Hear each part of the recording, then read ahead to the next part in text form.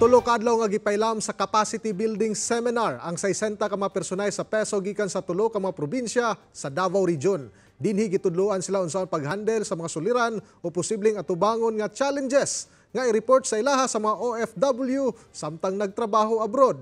Si Regine Lanuza sa report. Sukad tuig 2012, ana-ana sa 40 ka mga overseas Filipino workers nga gimaltrato sa ubang nasod ang gina-assist sa OFW Help Desk Officer sa Public Employment Service Office kon Peso Lupon Davao Oriental nga si Manolito Calyaw. Sagad sa mga nagapatabang kanila, mga OFW nga ana sa Saudi, Kuwait ug UAE. Sumala niya kani OFW sab siya. Busa nakahibalo siya unsa kalisod ang mag-abroad.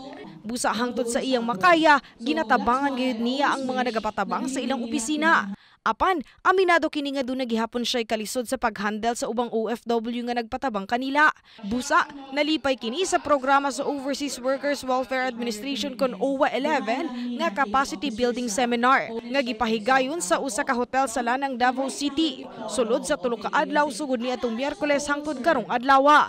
Ayo og tabang kay kung ang usa ka is uh, health, uh, health days kung wala kay knowledge unsaon yung paghandle so kini nga training dako kayo og uh, kalamigitan diya sa mong trabaho kay uh, kini nga kuan dili ni siya usa lang ka kanabang lahi sa ubang trabaho Sumala sa OWA 11, ang mga peso office sa mga probinsya ug munisipalidad ang kapartner nila aron mas dali nga makaduol ang pamilya sa mga OFW nga dunay problema.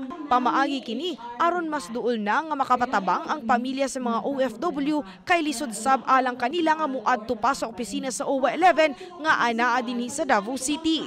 Busa, importante gayud kanila nga makahibalo ang mga personahe sa mga angay himuon ug kung unsaon paghandle sa mga suliran sa mga OFW.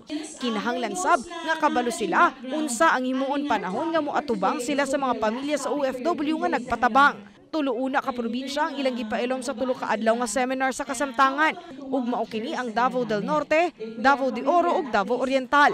Uh, daghan na, no? Daghan na may beses nag uh, nagapasiw daw sa similar ng uh, mga trainings ng inani, no?